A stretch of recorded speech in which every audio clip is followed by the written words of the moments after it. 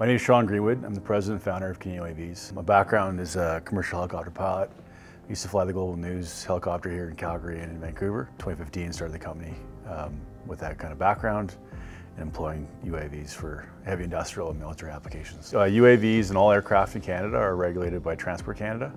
Uh, and we have the only permit to fly long distances or beyond visual line of sight. We can fly pipelines and long linear assets uh, more cost effective than, than, helicopters or even our other competitors who have uh, what's called visual line of sight. It has a lower carbon footprint than helicopters or, or, planes and the data is better because that's all it's designed to do. It's not designed to move people around, it's designed to get data. My background as a commercial helicopter pilot, um, there's a lot of you know, high emphasis on, on safety.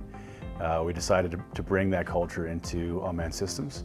So we're wrapping 100 years of aviation best practices around this technology so that our clients not only get uh, the advantages of the data or the cost, but also the, the scale and economics uh, for uh, heavy industrial and oil and gas. We're based here in Calgary. We've been working with the largest upstream, midstream pipeline companies for the last eight years, and we've found new ways of, of doing environmental monitoring, pipeline inspection, asset integrity, uh, but also being able to scale that up so that we can do it at, at large, uh, basically heavy industrial scale. We're also now able to do more greenhouse gas emission detection so you can get not only visual light, infrared, multispectral, but also uh, laser-based methane detection.